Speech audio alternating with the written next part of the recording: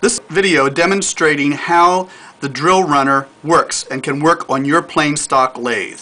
First, to, to countersink the hole or to spot the hole, put the 1 8 inch diameter countersink into the end of the runner and tighten the two set screws.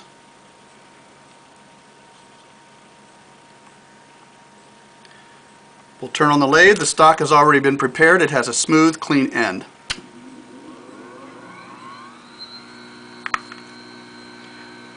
Push the runner into the stock.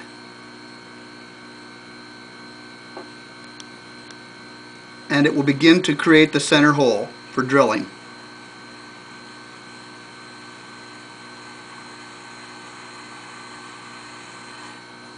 We have a spot. remove the center drill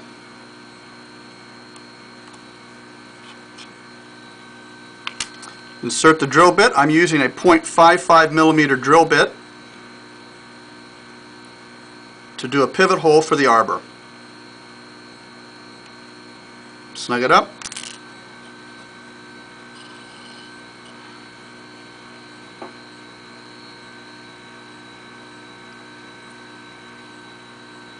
Both the center bit and the drill bits that are included with the runner are carbide and will cut hardened tool steel.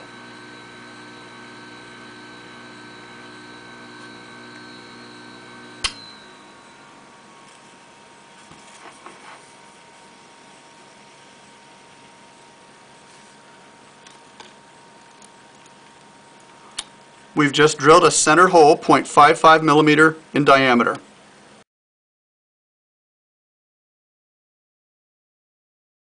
You can do it with your lathe also.